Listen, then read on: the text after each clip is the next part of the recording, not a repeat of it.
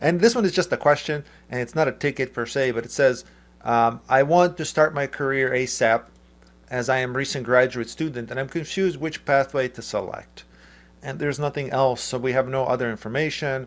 And this is just an advice, I suppose. Uh, start from the beginning, unfortunately. I don't know what kind of a degree you have, but I'm assuming it's just, you know, it's like a computer science or some kind of a certificate or something.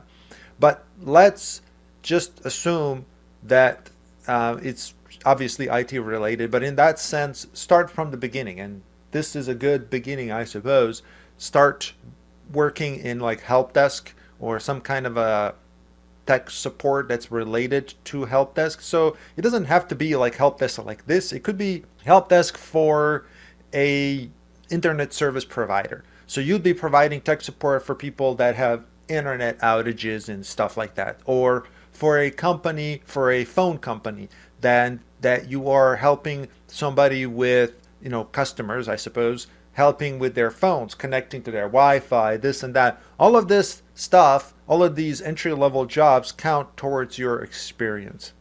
Now if you like those jobs and if you start working for these companies you can move within those companies to help desk that's internal help desk which is this stuff of stuff that I'm showing you right now.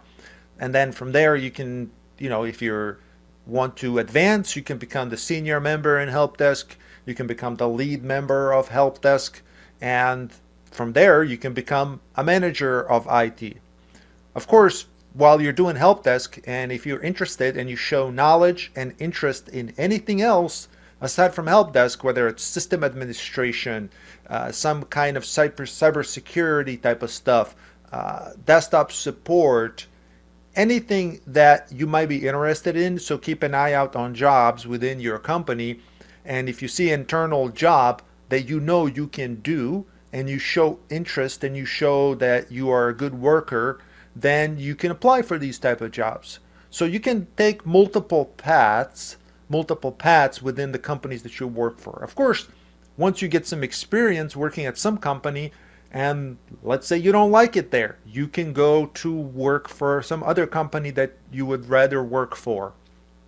So, either way, the point is to get some experience. So, get at least, you know, I'd say a couple of years of experience just to get you started. But even like six months or even a year worth of experience is going to help you a lot is going to help you uh, get other jobs as well. So don't try to like immediately get, let's say, cybersecurity job or sysadmin job. You, you, if, if, if you can do that, then that's fine. I'm not saying don't apply for those jobs, but I'd say apply for a job that you know that you can do for sure.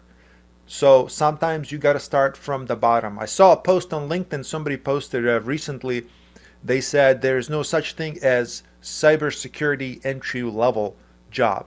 And in in that sense, if if uh, previous experience of cyber cybersecurity is required, then I guess in that sense there is no such thing as entry level cybersecurity. However, how do you get that experience? And the other point was as well to start from the beginning and then trying to get into cybersecurity. So that to me is very confusing. I'd say just start the way I described it. Start from the bottom, especially if you're coming out of school. Uh, you know, you're a graduate student. Then start from the bottom, see how it goes. If you can get immediate desktop support job or sysadmin, cybersecurity, network admin, whatever it is that you went to school for, then that's great. Certainly try to apply for it, at least get some interviewing experience.